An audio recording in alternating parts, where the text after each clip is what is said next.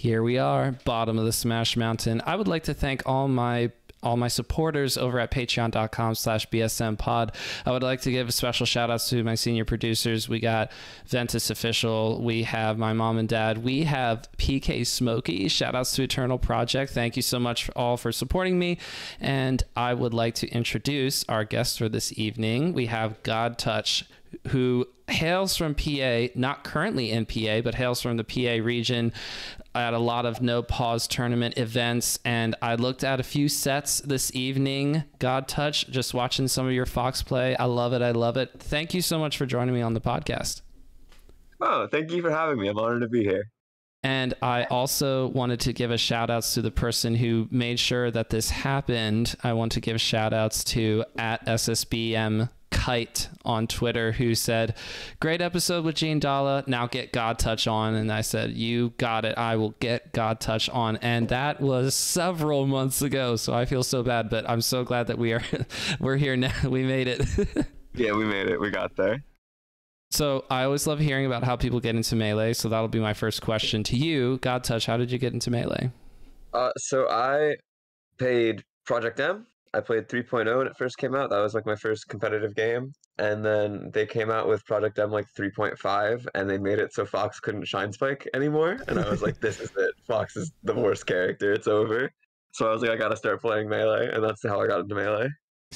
And because because of all the different patches through the realm of Project M, you have the ability to complain to the devs and say, I just don't like this about XYZ character.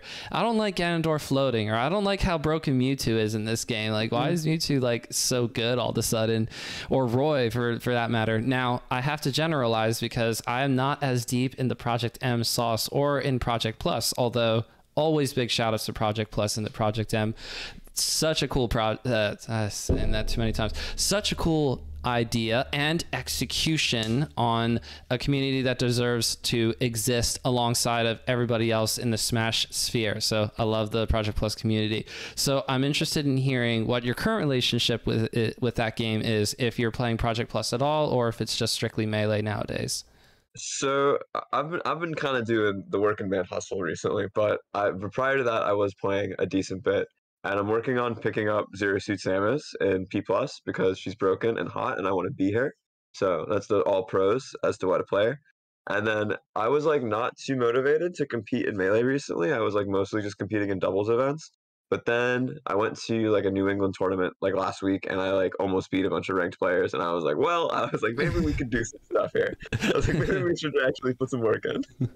I'm interested in hearing about some of these tournaments up in the New, Ling- New England area. If you're to my knowledge, uh, on the northern side of it, that means that it's probably hard to get to events in Massachusetts. But I don't hear a whole lot about the stuff in Vermont or in Maine or other places that are up there. My geography is shaky, but I'm interested in hearing about what's it like on the northern side of New England as compared to the kind of dangling nearby New York side of the region.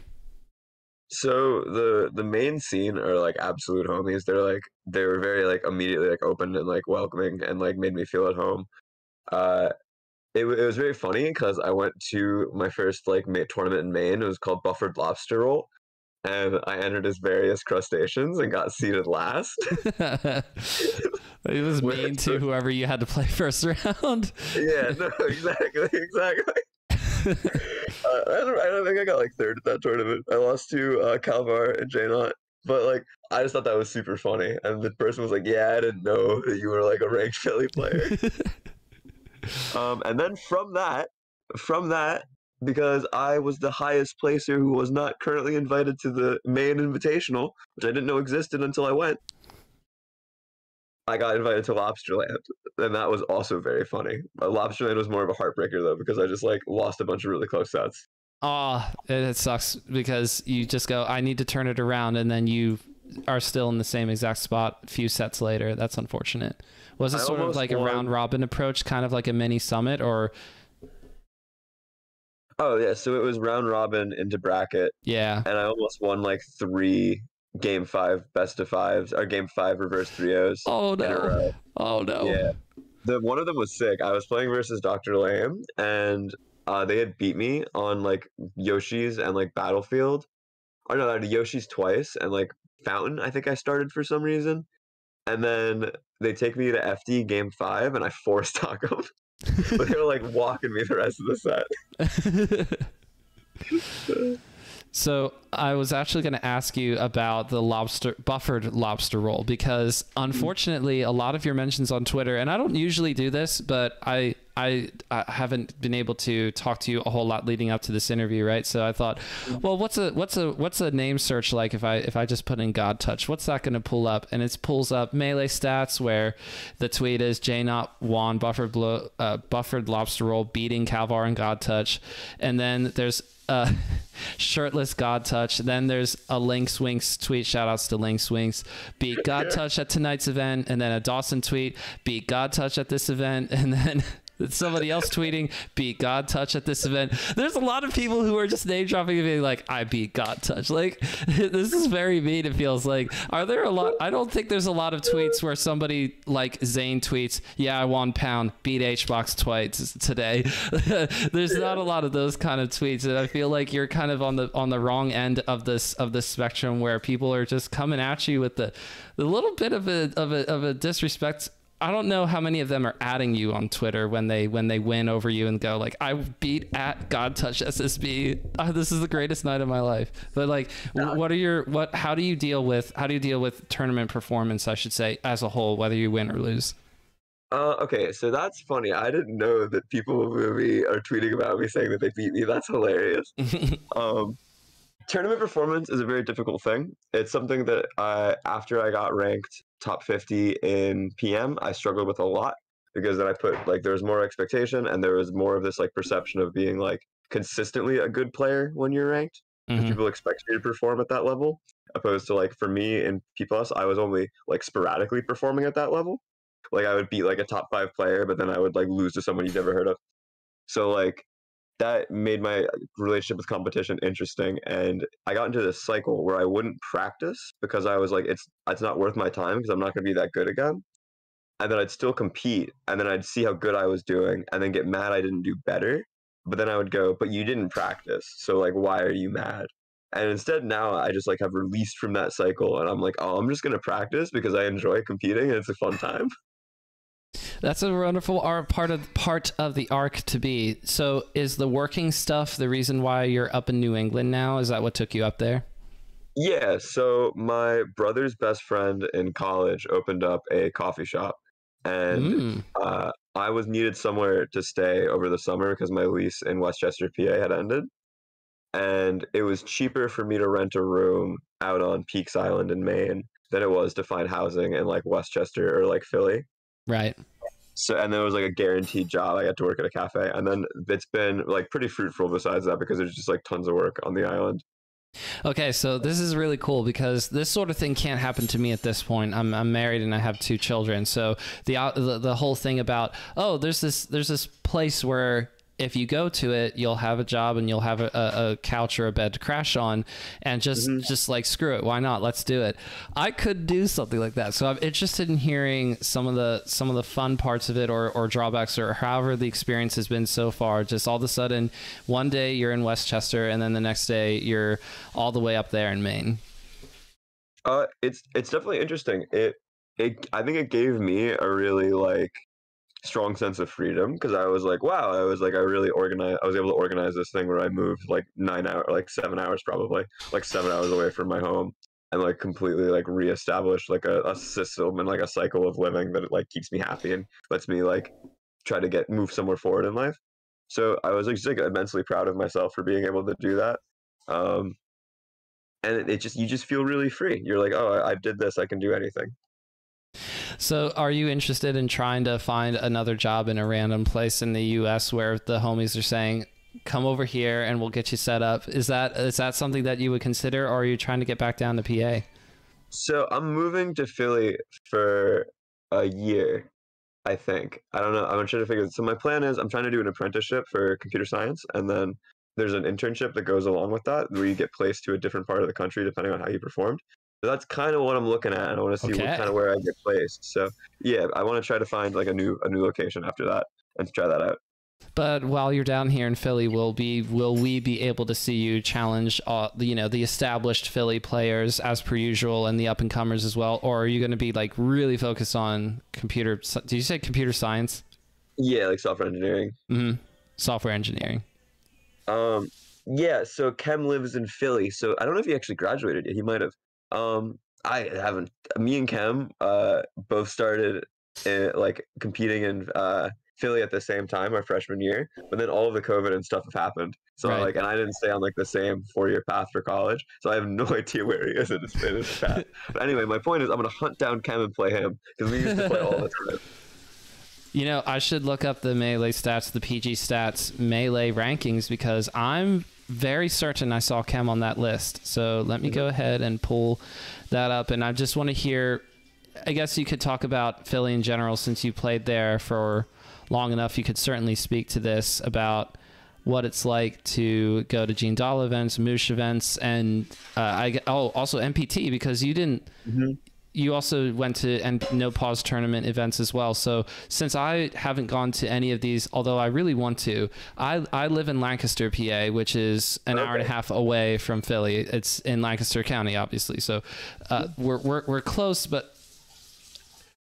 It's hard to get away for, for for a tournament on a weeknight, is what I'm getting at. So I really wanted Yeah. to go to Creed, for instance, that BBATS won a month and a half, two months ago. I wanted to go to that kind of stuff. Hopefully, I'll be able to uh, the, for the next Creed event, that sort of thing. But I'm just interested in hearing how your experience was being in, in that competitive scene for as long as you were. So the Philly competitive scene, I think, has a lot of like, like kind of like grit to it that's not real. Like we're all kind of like a little bit jerks about the game, but it's it's in the most like it's like why are you mad about a video game? But it's also like everyone in the room takes the video game very seriously and clearly is trying at the video game.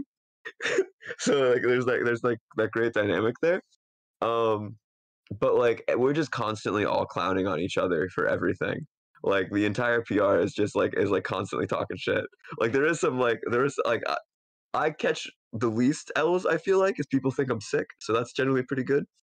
But like dawson gets clowned on constantly like dimension gets clowned on constantly and it's mostly to the fault of young neil. Young neil's the main instigator in, in these plot lines So I want to make sure that I'm getting Chem's ranking right on the. This is this is happening as in today, yesterday, tomorrow. The top ten comes out for for melee, and hmm. Chem debuted at 38 in the world for for melee. What, what's your like immediate reaction to that? that like that like makes sense. Like I don't actually follow Chem's results well enough to know mm-hmm. How he like should be ranked in the top fifty. Like I don't know if that's low or high for how he's been performing. But like just knowing like like just knowing how he is and seeing him play, like it like was obvious that during the beginning of the pandemic that he was going to be like a top fifty player. So if you're gunning for Chem, then do you think that it's realistic to consider in the future a God Touch top 50 player for melee and to say in the in the in the in the next year or so? Like is that a possibility or are you trying to be as realistic about that with yourself as you can? Like where where do you feel with trying to project how well you want to play, how how high you want to go? So when I first went to Philly, I was winning tournaments over like Dawson and Cam. And when I first played Dawson, the first game I played him, I four him. And I still trade sets with Dawson now. I haven't played Cam like Andrews probably is like way better than me right now and would probably smoke me. Like I have no doubt about that in my mind. But like there was a point in time where we were going back and forth and there I know how many hours Andrew puts in and I know how many hours I put in. So if I of like kind of like decrease that uh like Gap. discrepancy in the ratio, I, feel like I, can, I feel like I can close the gap. But either way, it's really cool because I, I want to eventually get out to Philly events and, and meet all these players. There was a there was a Baltimore event that I went to that some Philly players were supposed to go to. It just didn't end up working out. There was a uh, COVID breakout, something something, and so I think all the Philly players just played it safe, stayed home. But uh, either way, it's it's interesting to hear about this scene since I'm so close to it, and yet I haven't I, ha- I just haven't gone out to an event. I'm very interested in the Millersville University events that are coming up again that we're going to be having in Lancaster. I'm very excited for that. Okay, so I usually have Patreon questions, and I th- probably put that out a little late in the game with adding everybody in the Discord, or I didn't do the at everyone, but I did the at roles, and I did not get anything. So what I'll be interested in hearing in uh, from you now is from more more Project Plus stuff, just because I don't I, I always love hearing stuff about the game, but I don't hear about it super, super often. So, uh, do you know God of the Mod? Do you know that Mango does that on his channel and they have really big players come out for that? I have heard of it. I have I have know it exists. I have not watched a single one. one time my boy Yona was on there. That was sick. I didn't cool. watch it, but he was on there. I'm interested. I'm interested in hearing if you're like trying to make it happen, or if it's just more of like a chill. Like you know, if uh, I think Oh, it's no. uh, Saber who's who's a big part of getting that all set up, but you're you're not trying to have your name called or anything. No, I'm not trying to get on God of the Mod. I'm trying to get like top ten though in in P plus at some point. Like I feel like I when I was doing it with Fox, I was working way too hard for consideration like how, like how bad some of Fox's matchups are in that game. And then I'm from Pennsylvania, and there's just no scene here. Like Mm. like there's just there, and I lived in, in like northeastern Pennsylvania in Stroudsburg. My oh, I know where was Stroudsburg is. Yeah. My local was 45 minutes away in Scranton. oh no. we had like two Zeldas. Like, why do we have two Zeldas? Like, you know, like so it just wasn't a great, it wasn't a great place for growth. But like, I, I really feel confident going forward with P plus that I can like become like a top 10 player. Is it because the New England scene is stronger for P plus right now, or is it just because when you go back to Philly, you'll be in like Philly has enough of a Project Plus scene for you to get good good matches in? Philly has a really strong uh, Project Plus scene. So like our best player is is uh, Ronan or like Mr. Gimmick. Uh, where he just like if he's like playing well, rotates on like any of us with like every character. It's it's insane. And he's pretty inconsistent at the same time though, because like it, it, he's he's one of my best friends and he's in an interesting arc right now. So. Uh, in in the fire, in the forge, being cra- crafted into the best player ever, and then then there's Dimension, who is the villain of the story, because uh, Dimension is the melee player who plays Knuckles now, and then we'll snipe the tournament sometimes. And then we have Soap. Soap's super dope. Uh, he plays Knuckles too. Um, he's like actually making waves. Like he's beating tons of people on like online net play discords and like kind of washing them. And then I'm probably like fourth best right now. I'd say. Uh, because my ZSS just kills itself at least once a game, and that makes it really hard to win. That's tough. Yeah, it's like I, she's trying to learn to fly. Like she doesn't have her wings yet.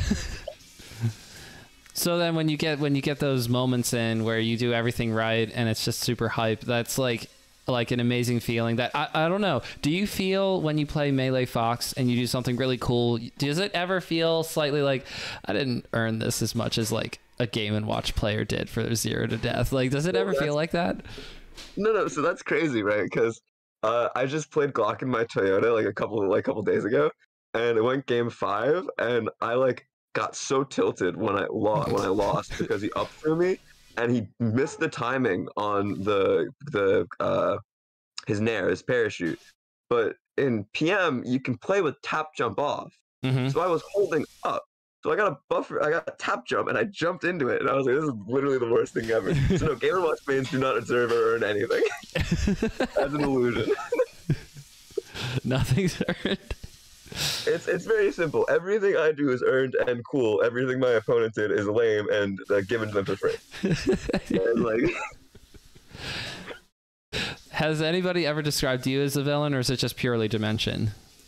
uh, Dylan's not even the villain. It's just funny to poke fun at him. Mm-mm. Uh, it might be Dawson. Dawson might be the real villain. But The- wait, of of Melee or of uh, Project Plus? oh no, Philly. Philly, gotcha. Dimension's definitely the villain of of uh, of P plus. How many times have you seen a Chem versus Dawson set? I don't really watch the game that much, so I've probably seen like five. Okay, but that's still a high amount because that's like a big meme. I've I've heard of Chem versus Dawson memes.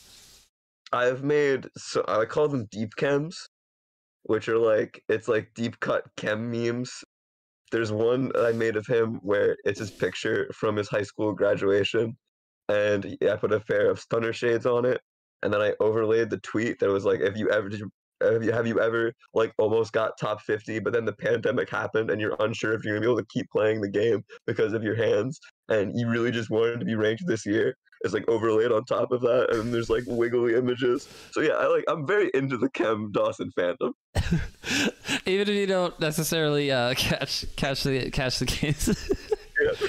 So you said that you don't watch the game a whole lot. I, I watch the game uh, enough. Like I'll, I'll catch these these bigger events. So this past weekend was Wave Dash, and that was Hungrybox versus Jmook in grand finals. Do you did you know anything from that event?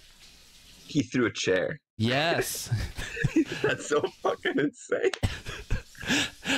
Because a lot of people are tweeting this out like, hey, if somebody throws a chair, what do you do? You ban them. like, you don't let them come back, right? Jmook should have ripped their shirt off. Uh, somebody, uh, somebody, or a few people have said that Jmook's not the kind of person to like start or stir things up a whole lot. But Jmook got the mm-hmm. Joker moment tweet in. You know, Hungrybox is throwing the chair, and he's got that dejected look on his face in the picture, and he just captures it. This is my Joker moment. Like that's so perfect. Yeah. Yeah, that's perfect that's that's that's at least the minimum that you got to do. I feel I feel bad for anybody who loses a game 10. You know, it's just a hard fought grand final set. It's the end of your day or the end of a tournament and that's what happens. Like that's ultimately something that you have to it'll kind of live with you longer than the average result does, right? I'm interested mm-hmm. hearing from you. Have you ever won or lost a game 10? Yeah. Uh, that's happened a couple times. I think my favorite game 10 was this was like the beginning of like my really good string of performances. I was working as a camp counselor at a Quaker farm camp, and I'd been doing that for about a month, so I hadn't played at all. Like I hadn't like been on a computer that whole time. Uh, and there was a tournament in Pennsylvania called Homie Fest, and it was like our reunion tournament. Like everyone who like used to play like the younger kids like had gone off or like are going off to school or had gone off to school. Like I was like one of the younger ones who hadn't gone off yet. And like the older people like had stopped playing as much. Uh so we had this reunion tournament and I got seated like like eighth or like ninth, even though like when we were all playing I was number one and like undefeated versus people. So that, so I was like, I gotta show these guys what's going on. and then I I lose to like my bracket demon battery, like like somewhere in the like in the middle of the bracket. So remember, I had to go on like a, a pretty decent losers run. Mm-hmm. I had to beat like my friend Anthony. Uh, his tag's Abel, who like I used to go back and forth with, and then Umbra, who used to be like the best player in my region. And then I went game ten with uh with Battery, and I remember this very specific moment where like I'm playing against him on Fountain, and it's like we I come down from the respawn platform, and I'm like he's been rolling in, and then I like get a combo in him on him, and then he like rolls in at the last moment, I up smash him and I kill him, and I'm like holy shit, that's the game ten. that's like I've been playing, I've played nine games versus this dude. I know where he's gonna go. yes, you got your one moment. Yeah that reminds me it reminds me of mango talking about like the the roll read rest against armada. He's like i just knew it. I just knew it in my heart. He that's how he describes mm-hmm. it in the uh, the new documentary. That's really cool though. You want a game 10 poor battery. Is this the same battery mm-hmm. who plays volleyball professionally now more or less? Yes oh my, my gosh dog. i've had battery on the podcast. That's cool. Just want to make sure. so cool just going to be trying to go to the to the Olympics in a couple of years on the volleyball team. Not a big deal. I mean, mm. I don't know how close batteries actually is to doing that. I want to be fair and realistic, but uh, like yeah. that's a goal that battery has. Like go to the Olympics on the volleyball on the men's volleyball team. That's that's crazy. He's one of the most motivated people I've ever met. So like I have absolutely no doubt that as long as he stays dedicated to the plan he creates for himself, he'll do it. Let's go. Like, Let's like, go. Like Oh, so the other, I think I have moments like that a lot because I'm a big reverse three hour. Like I'm, I'm a big adapter. I be, I get mad when I be losing, so I'm like, I gotta stop this. I, I gotta find a way to figure this out because this is not my view right now. So, um, I like have a bunch. I have like lots of like moments. I feel like where I've been like, oh, like this one thing clicked, and that's what won me the set. Like I was playing versus Faye, uh, I think our most recent set, and I lost like two on Yoshi's, and I normally win on Yoshi's. Like so much so that Faye, we used to start Yoshi's, and then Faye doesn't start Yoshi's versus me anymore. Right. And that's their favorite stage. um, and I'm playing like blue or green fox, and I switched to red, and then I realized that they've been messing up. Like every time I've done up throw, they've teched in place, and then I've up smashed them, and they've te- they tech in place, and then that other up smash they roll in. And I was like, huh. I was like, that's like three things I just know is gonna happen. So That's I, I would wild. just do that. Yeah, I would just do that for like every startup of the combo, and then if they DI out, you can just get like back air, and if they DI in, you can get like shine shine back air. But they're off stage every time at about seventy, right? So like, and I can just do that every stock when I don't know what to do because I know Faye's is gonna do it, and that's how I got like the reverse 3-0, and that's how I ended like the it was like game five, last hit, last stock. I'm not the last last stock, like. I was at like 100 or something. No, I think I was up two stocks. There was a different set that I was up 100 and I cheesed Faye. It's Faye, I'd be robbing Faye consistently. Uh, I like just like actually like just like whopped them after switching to red and like really recognizing this one thing. Are you the best adapter in melee in the world? No, probably not. Who's better at adapting? Uh, I'm trying. That's actually I'm pretty good at it considering like I do play P plus matchups that I've never played before, and I, just, I can like figure it out pretty quick. hmm Yes, So, and like, to be fair to you, you don't watch melee constantly, so it's not like you could say, "Oh, well, you know, I watch you know ten or twenty hours a week, so I could tell you like there's bajillion players who are better." No, it's I, Yeah. reverse three O's, very hype, very awesome. So when you when especially when you get to be that player, must be very cool. I have not done a well, I haven't really won a whole lot of melee yet myself. I'm I'm still very bad at the game, but very cool to hear how it is possible for someone to go down 2-0 and then just to go all I need to do is is do a couple of adjustments here and notice a few patterns and then I can I can turn this around quick. Sometimes it can it can actually be like this thing I'm doing recently that's like very silly, but I think because I find it funny, it's even more effective. Um, I try to use like a trigger word to like get me to focus to just play well, like not even adapt, but just like get myself into the zone to make good decisions and like Mm. move properly. Uh, recently, I've just been saying I got that dog in me, and I say that it makes me smile, and I'm, I'm ready to play because I got that dog in me. So um, uh, you were talking about Homie Fest earlier. That was the melee. That was what was from a melee or uh, Homie Fest bracket where you were playing J Flex in grand finals, and it was a That three. Homie Fest too. hmm Okay, okay. So that was a 3-0 in J Flex's favor, who you know obviously. like a top 50 player easily i think j flex was ranked like 36th or something in the summer Mhm. rankings that just came out today and yesterday so congrats to j flex on that i'm just interested in hearing about when you go up against someone who you say to yourself i have to be realistic. This is probably a better player than me. Not that you want to immediately t- say to yourself i'm going to lose this set. I'm just interested in hearing when you play against someone who would be the the favorite or if you're coming out of losers going into grand finals against the person sitting in winners what your mindset is. You can't you probably don't want to immediately use your go-to line to start game one but like what's that feeling like when you go into that kind of a situation So I was actually up 1-0 on J Flex going into that set. mm. So like I was pretty like I was like J I knew at that time because he was getting really good results then that J Flex was better than me, but I was like I'm going to fuck up J Flex. I was like it is not there's a non-zero chance that I just roll J Flex today. Um, so like like because when I, I played him when I played him pre-pandemic, I like like 2 0'd him pretty solidly. I think at least it didn't feel stressful at all the whole time I was playing him. Um, and it was funny because I had asked him for friendlies like four years earlier, and he was like, "I'm only doing money matches," and I was like. I'm like I'm like maybe I was like 15. I was like I'm 15 or 14, dude. I like don't have money. Like I just want to learn how to play the game, and I heard you're good. And he was like, I'm only doing money matches. I was like, you don't want to help the community grow. I was like, you don't help this kid like get better at the game. Like that's not is not your style. So when I beat him, it was so fucking funny. I was like, you could have prevented this. so, but I think when I when I do play against players that are better than me, I, I actually I think I do better versus players that are better than me, opposed to players that are worse than me. oh that's philly to the core let's go god touch Yeah, like I don't know, like I, like if, if someone's supposed to be better than me, I'm generally like, but how good are you? But how good are you really? fuck around find out right Fuck around, find out. Yeah, exactly. okay so we're getting up to 30 minutes here and we want to get you Okay. going so i guess if you're trying to do stuff, trying to make sure that the people know where to find you, you could do that. However, you want to roll us out here. Any closing thoughts, that kind of thing. Okay. Um, my my closing thought is this is my advice for improvement. It's you got to consider everything. There's like no one key. Like you can't. I'm not gonna give you an answer. You just consider everything and look at the whole picture, and then you'll get it.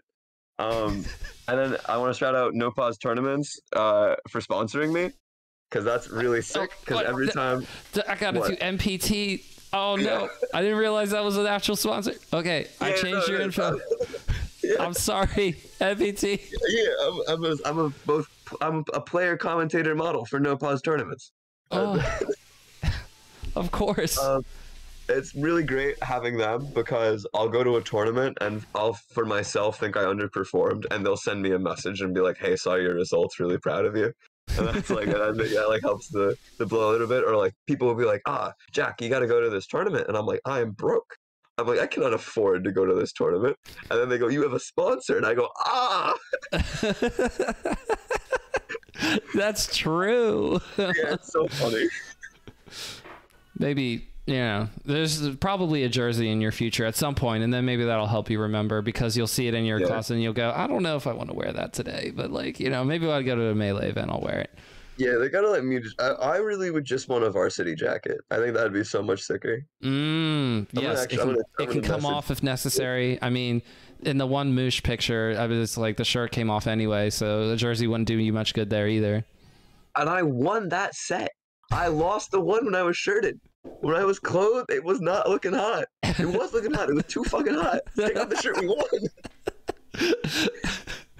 that's i just i'm glad I'm glad there's a picture, but there are a few videos where somebody takes off their shirt and everybody freaks out and gets hype, and it's just like it's so funny. It doesn't have to happen every time. It, it does. It does not have to happen every time. Don't ask me to do it if I'm losing a set, but you know when it happens, it's fun.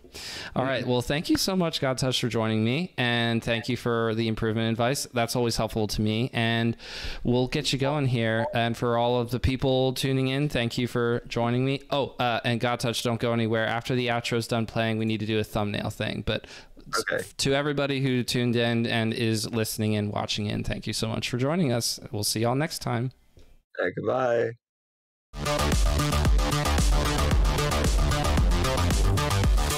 That was a lot of fun. Awesome. Glad to hear it. We can do a part two. I think. I think that'd be good. We only did 30 minutes this time. Indeed. It is tough. I had to I had to do that with Lod as